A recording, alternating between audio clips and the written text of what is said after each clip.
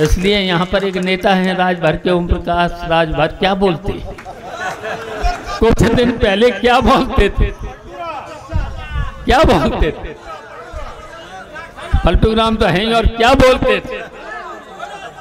प्रधानमंत्री जी को क्या बोलते थे? गृह मंत्री अमित शाह को क्या बोलते थे? गुजरात भेजेंगे। और क्या बोलते थे? योगी जी को कहा भेजेंगे?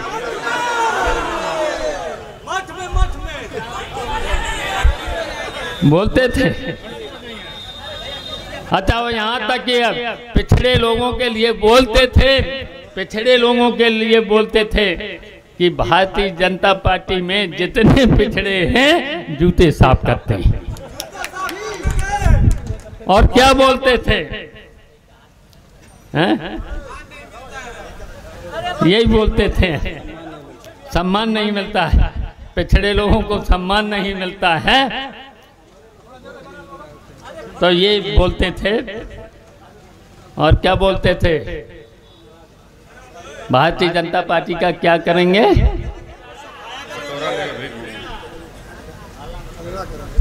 हाँ तो यही तो बोलते थे। सब चीज़ें तो आपको पता है। सब पता है।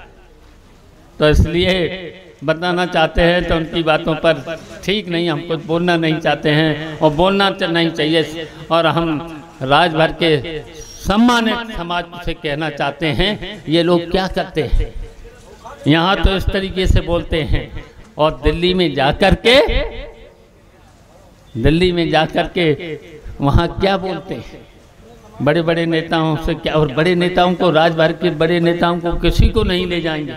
वहाँ ले जाएँगे अपने दो बेटों को। और फिर वहाँ पर सौदा करेंगे। योगी जी के साथ जाएँगे तो बड़े राजभर के नेताओं को नहीं ले जाएँगे। फिर वहाँ सौदा करेंगे। सौदे ही तो करते हैं।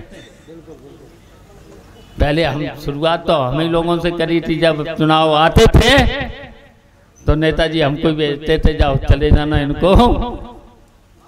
कुछ मदद कर देना और इनसे कहना अपने समाज में काम करें। हम तो इनकी आदत जानते पुरानी आदत जानते तो इसलिए राजभर समाज सम्मानित समाज है, हम उनसे भी कहेंगे, इन नेताओं से दूर बचो, ऐसे नेताओं से। कितनी और कहते थे, भारतीय जनता पार्टी का बैंड, हम बजाएँगे। बजा बैंड। और वहीं पहुँच गए। तो ऐसे लोगों का क्या ठिकाना जो अपने समाज के नहीं हुए, अपने समाज की सेवा नहीं कर सकते, अपने समाज को ऊपर नहीं ले जाना चाहते इनसे दूर, इनसे बचना है। और हम लोगों के साथ, समाजवादियों के साथ रह करके निश्चित हम लोग आपकी सेवा भी करेंगे, विकास भी करेंगे और कभी झूठ नहीं बोलेंगे। आप लोगों के बीच में इसलिए पाँच तारीख को सुधाकर को जिता करके इन भगोड़ों की और बेईमानों की जमानत जब्त करा देना। बस इतने हम ये कहना था। धन्यवाद, आप सब लोगों ने हमारी बात को सुना, मेरा सम्मान किया। इसके लिए हम आपके बहुत आभारी हैं। जय हिंद, जय